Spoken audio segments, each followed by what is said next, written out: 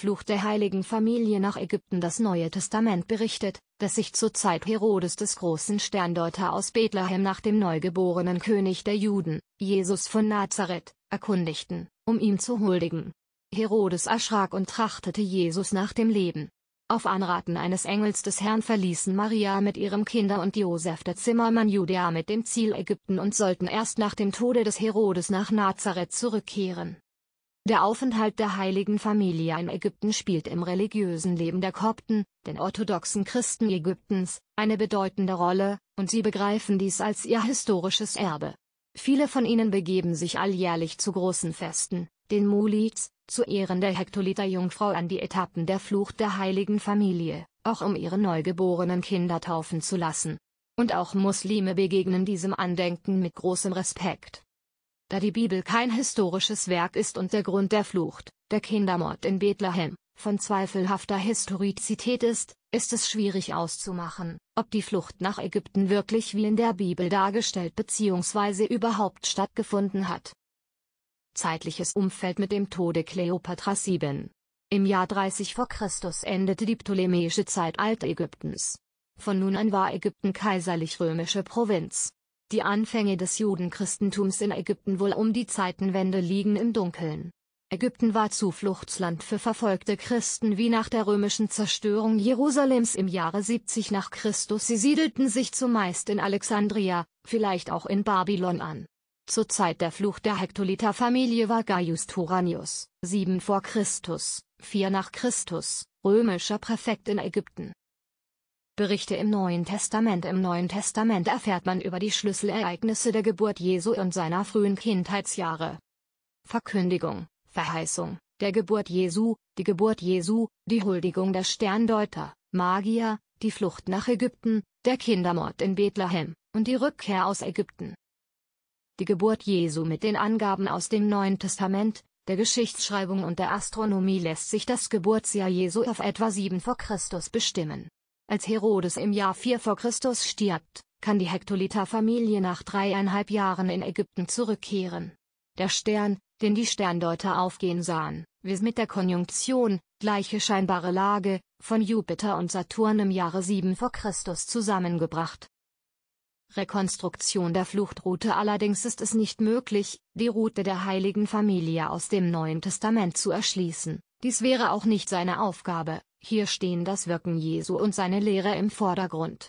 So muss man weitere Quellen heranziehen, wie dies zum Beispiel der Philosoph und koptische Theologe Otto F. A. Meinardus getan hat.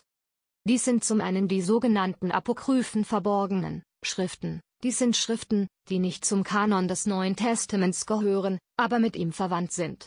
Hierzu gehören das arabische und das armenische Kindheitsevangelium, das Pseudo-Matthäus-Evangelium, das Kindheitsevangelium des Thomas und die Vision des Theophilus, 23. Patriarch von Alexandrien.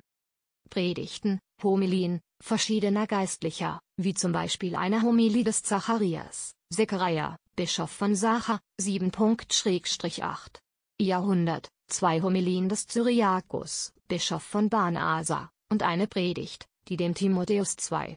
Elurus, 26. Patriarch von Alexandrien, gestorben 477, zugeschrieben wird. Koptische und äthiopische Synaxarien, dies sind tageweise zugeordnete Beschreibungen von Heiligen und ihren Festen. Weiterhin geben Historiker wie zum Beispiel Mekrizi und Abu el-Makarim, in der Überlieferung von Abu Sali, Auskunft. Zuletzt erfährt man aus mündlichen Überlieferungen Details der Fluchtroute. Nicht selten enthalten diese Dokumenten neben den historischen Daten auch Erzählungen über die Wunder Jesu. Man sollte jedoch bedenken, dass diese Quellen erst einige hundert Jahre nach den Ereignissen, von denen sie berichten, entstanden sind. Archäologische Zeugnisse oder Textüberlieferungen aus der Zeit der Flucht der heiligen Familie wären sicher besser, aber es gibt sie nicht, beziehungsweise sie wurden noch nicht gefunden. Von Bethlehem ins Nildelta nach der Aufforderung eines Engels des Herrn an Josef den Zimmermann, Judäa zu verlassen, begab sich Maria mit ihrem Kinde in die später sogenannte Milchgrotte in, um ihr Kind zu stillen. Ein Tropfen ihrer Muttermilch fiel zu Boden, woraufhin sich der Felsen weiß färbte. Danach setzte Josef Maria auf einen Esel, ihr Kind hielt sie in ihrem Armen. Josef wird sie neben den Esel laufend während ihrer gesamten Reise nach Ägypten begleiten. Die frühesten Kindheitsstationen werden im armenischen Kindheitsevangelium beschrieben. Der Weg der Hektoliter-Familie führte sie zuerst in die Hafenstadt, in der sie sechs Monate blieben. Der weitere Weg über den Sinai ins Nildelta ist kaum bezeugt. Man vermutet, dass die Hektoliter-Familie entlang der bekannten Karawanenroute gereist ist. Sie gelangten nach, einen Tag später nach, Chan Yunis, und nach Rafah. Nach weiteren zwei Tagen erreichten sie das Wadi El Arish, die natürliche Grenze zwischen Palästina und Ägypten. Über El Arish erreichte die Familie, heute die Insel El Filosiyat, westlich von El Arish. Ihr Weg führte sie weiter nach Westen nahe der Mittelmeerküste nach El Farama, wo die Hektoliter-Familie mehrere Tage blieb. An der Landenge von gelangten sie vom Sinai zum ägyptischen Festland. Ihre Reise folgt nun dem Wadi at-Tumilat, in dem sich heute der Ismailiyah-Kanal befindet, in der antiken Landschaft Goshen, die im armenischen Kindheitsevangeliumgebiet von Tanis genannt wird. Ihr Weg führte sie zu den Ortschaften, Hieropolis, Tel El-Mas kleiner als Uch kleiner als Uta, Saft El-Hina, nach, Bubastis im Südosten des heutigen Zakwazig, nach. Es wird berichtet, dass auf ihrem Wege durch Goshen die Hektoliter-Familie Unterschlupf in einer Höhle suchte. Ein Drache, der aus der Höhle kam, schrie beim Anblick des Jesuskindes auf, fiel zu Boden und betete das Kind an. Da Jesus in der Lage war, wilde Tiere zu befrieden, schlossen sich in der Folgezeit viele wilde Tiere der Hektoliter-Familie an. Prophezeiung des Jesaja. Dem koptischen Synaxarium zufolge war Bubastis die erste Stadt auf ihrer Reise durch das Nildelta. Die Vision des Theophilos berichtet, dass deren Einwohner aber mitleidlos der dürstenden Hektoliter-Familie das Wasser verwehrten. Nach erfolgloser Suche nach einer Wasserquelle zeichnete Jesus ein Kreuz auf die Erde, worauf sich alsbald eine Quelle auftat. Das Wasser ist für alle heilsam, nur nicht für die Bevölkerung von Bubastis. Weiter südlich erreichte die Hektoliter-Familie die Stadt Bilbais, in der Jesus einen Toten zum Leben erweckte. Gemäß den koptischen und äthiopischen Synaxarien und der Homilie des Zechariah setzte die Familie ihren Weg nach fort. In der Homilie des Zechariah wird als nächster Ort genannt.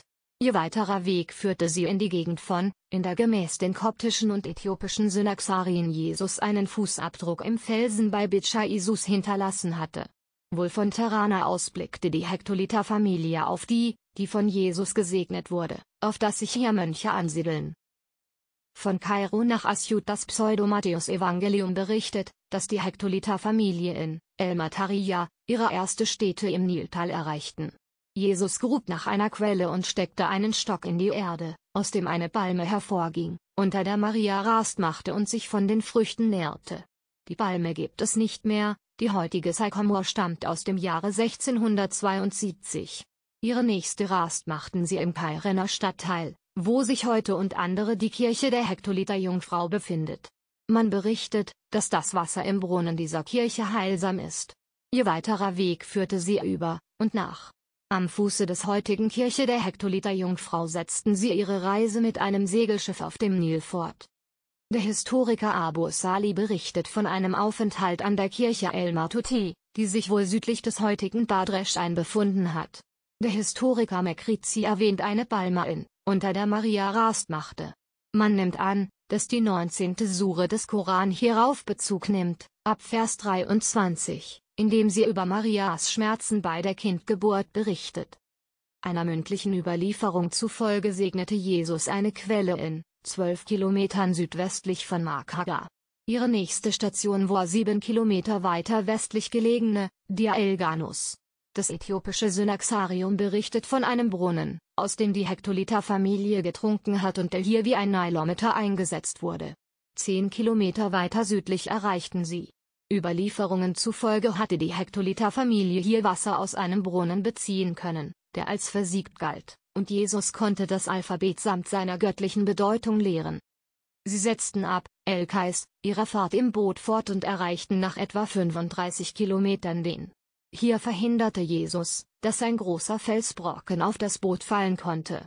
Danach segelten sie weiter südwärts, bis sie, wie und andere das Pseudo-Matthäus-Evangelium bereichtet, El Ashmanein, erreichten. In der Stadt, in der es heute keine christlichen Zeugnisse mehr gibt, sollen die Abbilder der Idole der hiesigen Bevölkerung bei der Ankunft der Hektoliter-Familie zerfallen sein.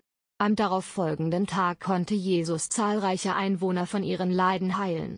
Danach verbrachte die Hektoliter-Familie jeweils mehrere Tage in Malawi und Deirut el-Sharif, wo Jesus weitere Wunder vollbrachte. So konnte er zum Beispiel einen Jungen heilen, der vom Teufel besessen war. Ihr Weg führte sie weiter über das heute versandete Sanabu und über die Stadt, El Kosiya. Sie errichteten an der Stelle des heutigen Klosters eine Hütte, wo sie über sechs Monate und zehn Tage blieben. Die an dieser Stelle errichtete Kirche der Hektoliter-Jungfrau gilt als die älteste Ägyptens. Einer mündlichen Überlieferung zufolge ist die südlichste Station der Hektoliter-Familie ca. 10 Kilometer südlich von Asyut an der Stelle des heutigen Klosters, an der die Hektoliter-Familie in einer Höhle übernachtete. Danach kehrte die Hektoliter-Familie nach Dir el-Mocherik zurück.